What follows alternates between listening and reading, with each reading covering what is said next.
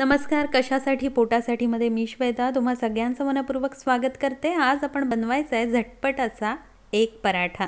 तर त्यासाठी मी इथं पाऊण कप गव्हाचं पीठ घेतलं आहे आणि आता हे पाऊण कप गव्हाचं पीठ आपण एका बाउलमध्ये ओतून घ्यायचं आहे आणि आता आपण यामध्ये चवीनुसार मीठ ॲड करायचं आहे आणि सोबतच आपण आलं लसूण मिरची आणि कोथिंबिरीची एक चमचा पेस्ट ॲड करायची आहे. तर इथं पेस्ट ॲड केली आहे. आणि आता आपण यामध्ये लागेल तसं पाणी ॲड करायचं आहे. आणि स्मूद अशी याची पेस्ट बनवून घ्यायची आहे. तर हे मिश्रण आपण पराठ्यासाठी घेणार आहे.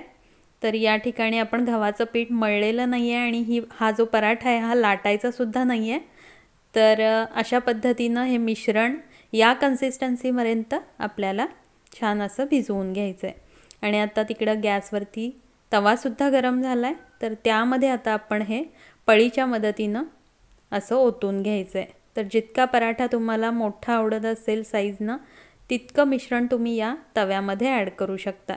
तर या ठिकाणी मी चार चमचे मिश्रण ओतलं आहे आणि गॅस इथं मीडियम फ्लेमवर आहे. तवा थोडाफार गरम असतानाच आपण हे मिश्रण ओतून घ्यायचं आहे आणि आता मीडियम टू लो गॅस फ्लेमवर आपण हा पराठा छान असा शेकून घ्यायचा आहे. तर या कडा ज्या साईडच्या या एजेस आहेत ह्या आपोआप सुटायला जेव्हा सुरुवात होईल त्यावेळी आपण चमच्याच्या मदतीनं हे पलटून घ्यायचं आहे. तर यामध्ये एक चमचा बटर तूप किंवा तेल आपण घालू शकतो.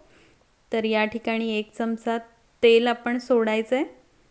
आणि त्यानंतर आपण चमच्याच्या मदतीनं हा पराठा असा पलटी मारून घ्यायचा आहे. गॅस इथं मीडियम टू लो फ्लेमवरच ठेवायचं आहे आणि आता आपण यावरती एक अंडं फोडून घ्यायचं आहे तर या ठिकाणी अंडं फोडलं आहे त्यावरती आपण काळ्या मिरीची पावडर आणि चवीनुसार मीठ ॲड करायचं आहे तर काळ्या मिरीऐवजी तुम्ही लाल तिखट किंवा मिरची पूड वापरली तरीही चालेल. आणि आता चमच्याच्या मदतीनं हे अंडं छान असं पराठ्यावरती फेटून घ्यायचं आहे आणि गॅस इथं लो फ्लेमवर ठेवायचं आहे आणि आता हे छान फेटून घेतलं आहे आणि आता आपण गॅस जो आहे तो मीडियम फ्लेमवर घेतला आहे आणि अगदी सावकाश अलगत असं आता आपल्याला हे फोल्ड करायचं आहे तर आता हा जो पराठा आहे तो आपण चमच्याच्या मदतीनं फोल्ड करून घ्यायचा आहे आणि वाफेवरती हे आतलं जे अंडं आहे ते छान असं शिजणार आहे. वाफून निघणार आहे आणि अगदी फ्लफी असा आपला एक पराठा खाण्यासाठी तयार होणार आहे.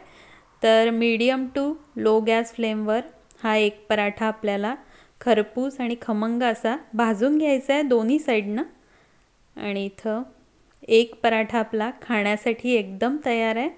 तर आता मी याला पुन्हा एकदा पलटी करून घेते आणि चमच्याच्या मदतीनं याला मधून असं आपण कट करून घ्यायचं आहे आणि आता याला छान असा कट मारून घेते चमच्याच्या मदतीनं. गॅस जो आहे तो मी आता बंद केला आहे आणि एकदम सोपा भारी असा एक पराठा खाण्यासाठी तयार आहे.